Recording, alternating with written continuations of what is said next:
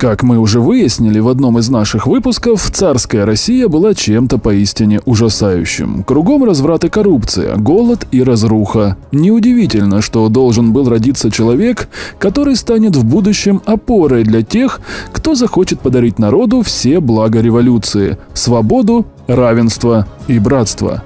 И такой человек действительно родился. Случилось это знаменательное событие 22 апреля 1870 года в городе Симбирске. Именно там и именно тогда родился герой мифов, легенд и анекдотов. Человек, чей речевой дефект стал его визитной карточкой. Владимир Ильич Ульянов Ленин.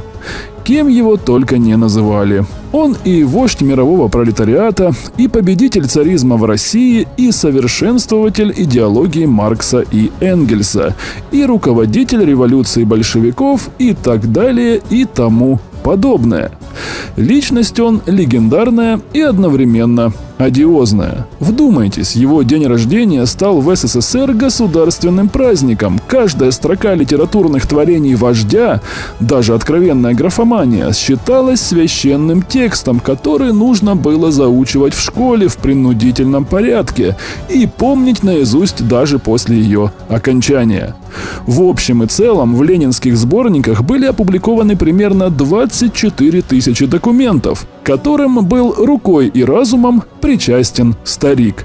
Это было логично. Коммунисты решили забрать у народа религию и заменить веру в любого бога верой в человека. Человек для этого нужен был вполне конкретный, а его слова, особенно эпичные и как можно более расплывчатые, нужно было увековечить.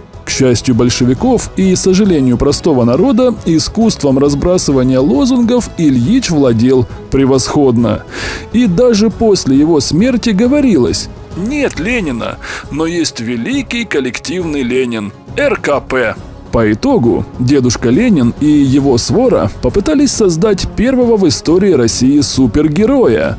И на броневике выступает, и бревна на субботнике тягает, и за державу всем своим красным сердцем радеет. Вот только усложнял вождь своим пропагандистам работу. В общем и целом, примерно 400 актов, которые он завизировал своим автографом, народ не увидел. Почему же? Целых четыре сотни документов различного порядка, от личных писем до целых статей. Общество видело в лучшем случае пару раз. Лишь недавно из архивов достали доказательства того, что не так идеален был Владимир Ильич, каким его малевали поклонники Великого Октября. Добрый дедушка Ленин на деле предстал жестоким дельцом, который с легкостью разрушал судьбы тысяч и миллионов людей, не испытывая при этом никакого никакого морального дискомфорта. Это не было бы исключением, ведь все правители, которые ставили себе целью перевернуть привычный мир с ног на голову, обладали жесткостью и даже жестокостью в той или иной степени. Вопрос состоит в том, был ли жесток Ильич как политик или же как человек – если первое можно объяснить тогдашней непростой политической обстановкой и попросту жутким положением в стране, то второе не может быть оправдано абсолютно ничем.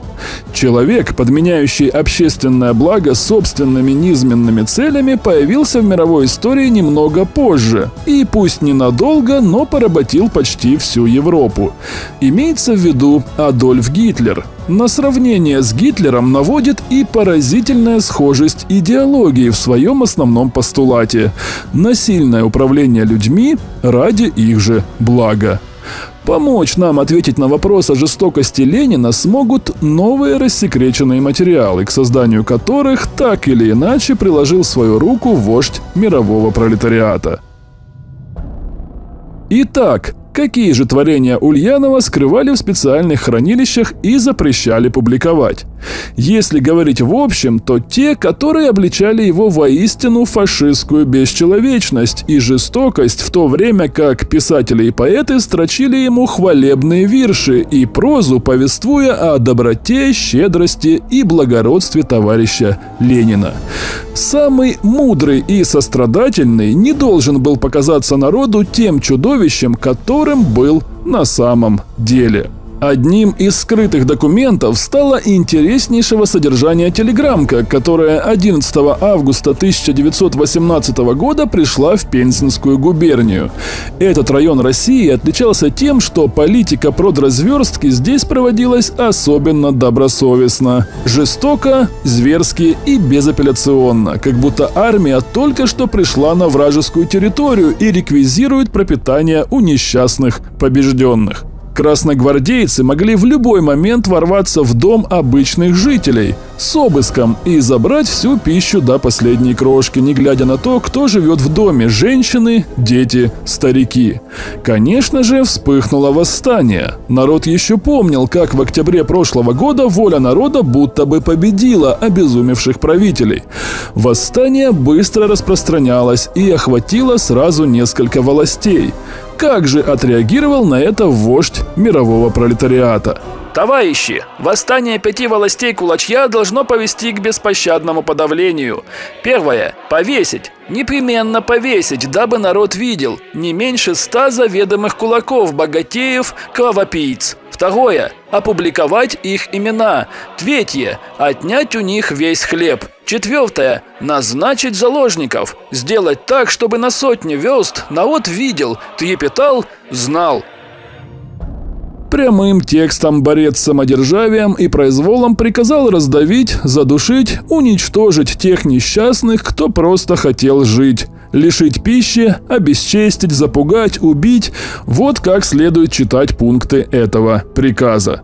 Может ли создать нечто подобное лучший друг детей и взрослых во всем СССР? Вот такой вопрос задали бы себе все ошарашенные граждане-товарищи, если бы только узнали. Вот только узнали об этом очень немногие, но все молчали. Одним это было выгодно, другие были попросту напуганы. Третьим же было попросту все равно, ведь никто не думает о том, что беда может коснуться именно его в самый неожиданный момент. Не исключено, что этим вдохновился тогда еще не очень удачливый художник из Австрии, который, став фюрером, на пишет следующее.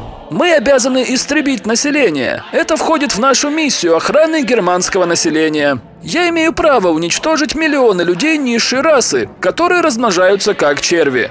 Звучит довольно похоже, не правда ли? Отличие лишь в направлении. Когда Гитлер якобы громил чужих ради своих, Ленин абсолютно прямолинейно приказывал убивать свой же народ во имя его блага. Возникает закономерный вопрос, а не вдохновлялся ли Адольф свершениями своего ставшего товарища Ленина? Но что если у Ленина тогда был просто неудачный день? Вот всего один раз озверел от злости. Проклятые империалисты своими кознями по второму кругу проедают плешь. Новая речь еще не готова, бревно для субботника сдулось. Да мало ли какая беда может случиться у самого Ильича. Вот только одним из рассекреченных документов оказалась телефонограмма Зиновьеву, который в мае 1919 года был ответственен за эвакуацию Кронштадта. Белогвардейцы развернули активное наступление. Ознакомимся с маленьким фрагментом текста. Товарищу Зиновьеву, отправляйте неблагонадежных в концентрационные лагеря. Знакомо это понятие? Да, концентрационные лагеря существовали и до того, но они, как правило, использовались в гораздо меньших масштабах для заключения военнопленных и изредка политических заключенных. Для Ленина же это становилось едва ли не необходимостью, ведь врагов революции было так много, что их приходилось где-то собирать, чтобы упростить уничтожение. Забавно, что как раз этот текст в ленинских сборниках опубликовали, но вот слова «концентрационные концентрационные лагеря интеллигентно убрали. Можно долго кричать, что это фальсификация, что Ленин это вам не какой-то Гитлер или Муссолини, он бы на это не пошел. Вот только есть еще несколько документов, которые доказывают, что лагеря, которые в СМИ называют трудовыми и исправительными, на деле оказывались именно концентрационными. Например, когда 23 июля 1918 года Петроградский комитет РКПБ принял решение о красном терроре, очень важным пунктом этого акта стало взятие заложников и создание трудовых, ну то есть концентрационных, лагерей. Это подтверждала и августовская телеграмма 1918 года в Пензенский губ исполком. Необходимо организовать усиленную охрану из отборно надежных людей, провести беспощадный массовый террор против кулаков, попов и белогвардейцев, сомнительных запереть в концентрационный лагерь вне города. Так что политика направленного истребления несогласных с Лениным использовалась на полную катушку. Да и не выполнить было трудновато. Сегодня возражаешь, а завтра ты уже контра- и кулацкий подголосок, которого отправляют в лагерь перевоспитываться. Чем могут оправдать жестокость вождя его последователи? Конечно же, временами – Мол, тогда иначе было нельзя. Воевали не на живот, а на смерть. Белые первыми начали свой террор и прочее, прочее, прочее. Вот только в то время, как воспитанные белогвардейцы воевали с совершенно конкретными противниками, Ленин в своем письме от 1 августа 1919 года прямым текстом указывает «Надо надзирать за всеми». Этим он подчеркивал, что неважно, кто сегодня считается другом, бояться должны все. Возомнив себя божеством, Ильич начал распоряжаться судьбами поверивших ему людей на свое садистское усмотрение. Замените во всех этих сомнительных оправданиях слова «Ленин» и «коммунизм» на слова «Гитлер» и «нацизм». Можно ли было оправдать все зверства Гитлера временами? Сможет ли это смыть ту кровь, которая огромным пятном легла на его черную душу? Не станем грешить против истины. Определенные предпочтения в том, кого отправлять на убой, у Ленина, конечно же, были. Его личный крестовый поход был направлен против интеллигенции и церкви, тех, кто в прошлом был элитой и обладал авторитетом, достаточным для того, чтобы поднять народ на восстание. Ильич, конечно же, не нацист, который воюет против народов. Тут можно применить термин «классист», Ему были чужды некоторые общественные слои, представителей которых он истреблял не как человек, а как политик в огромных количествах. Рано или поздно он смог бы стать самым кровавым из тиранов 20 века, ведь народ истребить можно, а вот конкретный класс постоянно пополняется новыми и новыми людьми. Уже вскоре ему бы пришла в голову мысль, что проводить подобную политику лишь на своих территориях попросту мелочь, точно. Весь мир нужно коммунифицировать тем же способом. Вполне понятно, что тот, кто сам пришел к власти путем развязывания кровавой гражданской войны, боялся, что его же методами он будет повержен и сам. Вот и перестраховывался. Когда красные пришли в Шую и стали изымать святыни и церковную утварь, местные верующие, конечно, воспротивились. Защитнички оскорбляли их веру. Что сделали солдаты? Правильно, просто расстреляли непокорных, как в общем-то и любят делать до сих пор в России. Это событие сподвигло Ленина написать солидное письмо, отмеченное грифом «строго секретно», ни в коем случае копий не снимать. Среди всего прочего в нем говорилось следующее – Политбюро дает детальную устную директиву судебным властям, чтобы процесс против шуйских мятежников был проведен с максимальной быстротой и закончился не иначе как расхелом очень большого числа самых влиятельных и опасных черносотенцев города Шуи, а по возможности также не только этого города, но и Москвы и нескольких других духовных центров. Чем большее число представителей реакционного духовенства и реакционной буржуазии удастся нам по этому поводу расстрелять, тем лучше. Надо именно теперь проучить эту публику так, чтобы на несколько десятков лет ни о каком сопротивлении они не смели и думать. Стоит обратить внимание именно на первые пять слов. Это решение было предопределено высшими партийными чинами, для которых жизнь человека не имела ровным счетом никакого значения. Он враг революции, которого нужно уничтожить с особой жестокостью, чтобы другим неповадно было. А ведь были и те, кто пытался отговорить Ленина учинять подобные безумства. Вождь анархистов Кропоткин со всей пылкостью просил в письмах прекратить красный террор, и это неудивительно. Анархисты не считали, что тот, кто свергнет самодержца, должен сам им становиться. Кропоткин, Бакунин, Махно разделяли похожие идеи, они желали своему народу свободы. И как же охарактеризовал Кропоткина тот, кого будут заставлять любить в течение последующих 70 лет – Он назвал его наивным человеком. То есть уверенность в том, что для счастья нужно обязательно лить человеческую кровь, настолько укоренилась в воспаленном мозгу Владимира Ленина, что он не мыслил иного пути. Эта идеология была свойственна и его наследникам в ЦК КПСС, и иностранным коллегам, национал-социалистам и фашистам. Но не жестокостью единой жил Владимир Ильич. Свойственны ему были и другие слабости, которые заставляли его друзей засекречивать его переписку огромными фрагментами. К примеру, большинство писем Инессе Федоровне Арманд, известной также под псевдонимом Елена Блонина, так и не увидела свет. Причина была проста. Лысый баловник в письмах позволял себе говорить практически напрямую весьма крамольные вещи. Вот, например, что он написал ей 13 ноября 1916 года из Люцерна. «Дорогой друг, захотелось мне сказать вам несколько дружеских слов и крепко-крепко пожать вашу руку. Вы пишете, что у вас даже руки и ноги пухнут от холоду. Это ей-ей ужасно. У вас ведь и без того руки всегда были зябки. Ваш Сегодня могут сказать, что в этом письме не было ничего такого. Напротив, все максимально поэтично и целомудренно, практически никакой интимной лирики. Причина строжайшей секретности была в том, что вождь не должен был ассоциироваться с обычным человеком. Он идеален и всемогущ. Ему недоступны неизменные инстинкты. Рядом с письмами Инесси улеглись и бытовые записки Ильича, в частности, записи о доходах, которые он мог доверить только самому себе.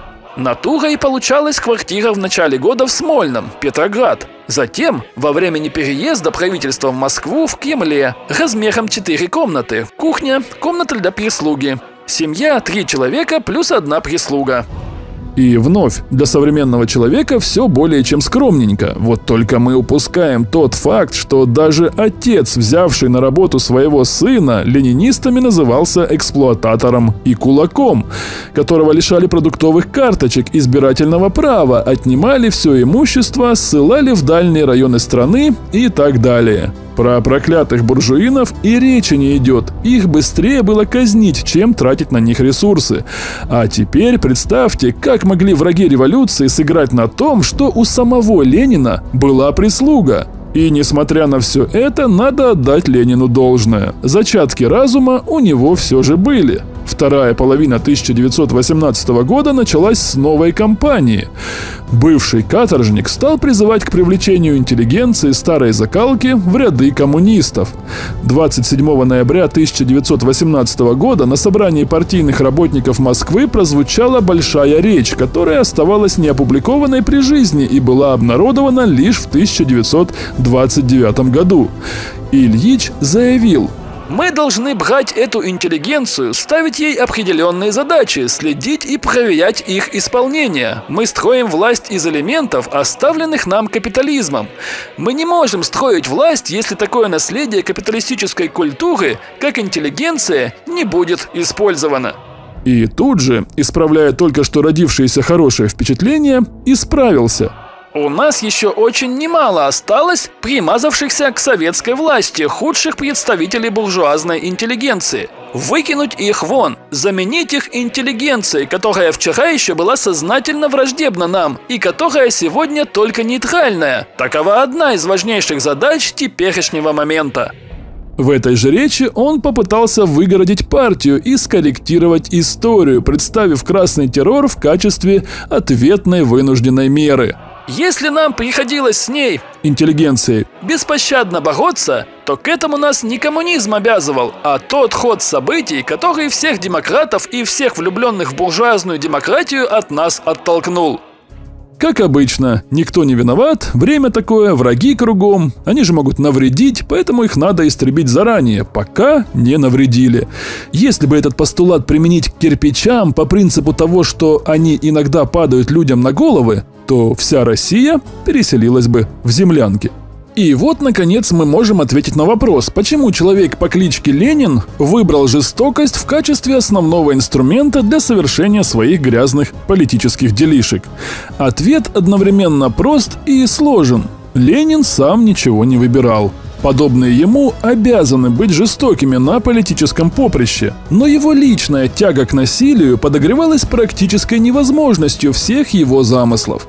Ведь цель казалась крайне простой. Раз все живут неправильно, то нужно заставить всех жить именно так, как надо. И Ленин видел эту цель так ясно, что сам факт того, что он кого-то и к чему-то принуждает, казался ему чем-то естественным и закономерным. Он же не так принуждает, как это делал царь, а по итогу он получает множество очагов народных вооруженных восстаний, в которых народ оказал новой власти неожиданно яростное сопротивление. И это разозлило будущего вождя, на самом деле глуповатого, самодовольного и наглого. Я, мол, от всей души дарую вам счастье щедрой рукой, а вы мне фигу тычете? Так я вас, к счастью, волоком потащу. Дальше он решил, что жестокость – это кратчайший и максимально эффективный путь, который позволит ему отфильтровать всех несогласных, которые мешают всеобщему счастью. Родил ли он на самом деле душой за тех, кому он наносил добро и кого подвергал ласке? Конечно, нет. Разъезжавший по заграницам сынок действительного статского советника, в распоряжении которого были как прислуга, так и немалые деньги, попросту не мог представить себе, что то, как он видит счастье народа, не обязательно должно выглядеть именно так. Ведь в чем весь смысл политики большевиков? В огромной, всепоглощающей великой идее превосходства одних над другими. Она может быть и нелогичной, абсурдной и попросту нереальной, но она будет великой. И все эти необразованные тупицы должны были кланяться в ноги новому, чего греха таить, царю, ведь действовал жестокий вождь максимально схожий с теми, против кого он и боролся, пользуясь прагматичной логикой. Все методы, которые может применять применять противник, нужно применять против него. Важно, что именно может применять, а не применяет. А народ слишком темен и несведущ, чтобы осознать, какие великие вожди пришли на его землю и решили, что будут тут руководить. Вот на этом месте разошлись пути большевиков и анархистов. Вторые искренне считали, что народу нужно всего лишь позволить самоуправление, а там он сам сможет справиться со всеми невзгодами и обеспечить себя.